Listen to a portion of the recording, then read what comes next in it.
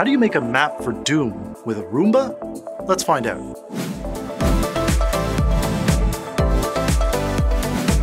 We've had Roombas for more than 15 years, and in that time, engineers and hackers have come up with all kinds of mods and new applications. Ever thought about how you might weaponize a robot vacuum? It's been done. Want to build a robotic assistant? Start with a Roomba. How about a real-life Pac-Man? There are tons. But rather than bringing video games into the real world, the latest Roomba hack goes the other way around. Meet Doomba, a Noesis add-on that takes data from a Roomba and turns it into a map for the 25-year-old game Doom. Uh, wait, 25 years old? No, no, that, that can't be right. I, I played Doom in high school, and I'm only... Oh man. Anyway, Rich Whitehouse created Noesis as a tool for viewing and converting between model, image, and animation formats. Doomba is his latest project.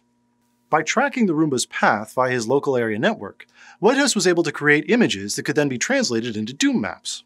An added benefit is that the Image to No Roomba tool also gives users the ability to translate other images into Doom maps, like the Mortal Kombat logo. I can't wait to see what other images are used to create Doom maps. Actually, knowing the internet, maybe I can. Tell us what you think. Comment below, connect with us on Facebook or Twitter, or start a project board.